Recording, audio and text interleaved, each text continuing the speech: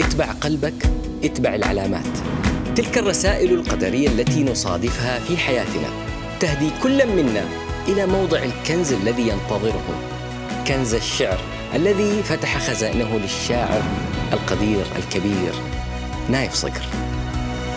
اللقاء غدا الخامسة بتوقيت السعودية على ال MBC 1 رمضان يجمعنا بس خليك بالبيت.